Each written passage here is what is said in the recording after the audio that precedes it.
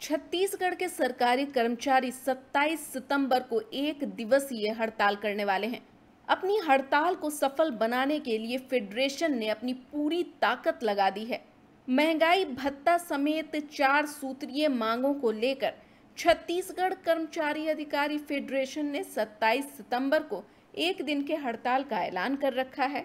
प्रदेश भर के कर्मचारी हड़ताल में शामिल होने के लिए सामूहिक अवकाश की सूचना अपने उच्च पदस्थ अफसरों और विभागों को दे रहे हैं।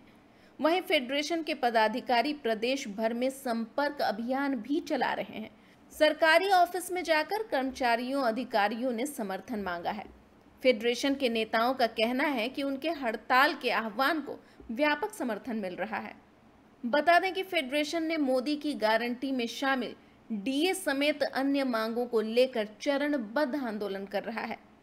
आंदोलन की अगली कड़ी में फेडरेशन ने 27 सितंबर को एक दिन के हड़ताल की घोषणा कर रखी है।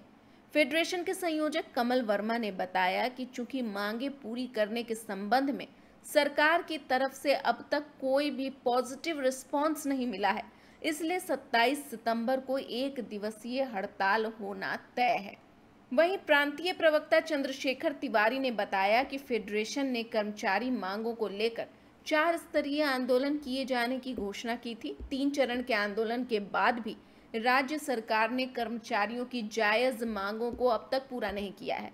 इसकी वजह से फेडरेशन से जुड़े संगठनों के लाखों कर्मचारी एक दिवसीय हड़ताल में शामिल होंगे। अगर उसके बाद भी मांगे पूरी नहीं होती हैं तो कर्मचारी अनिश्चितकालीन हड़ताल पर जाने के लिए बाध्य हो जाएँगे।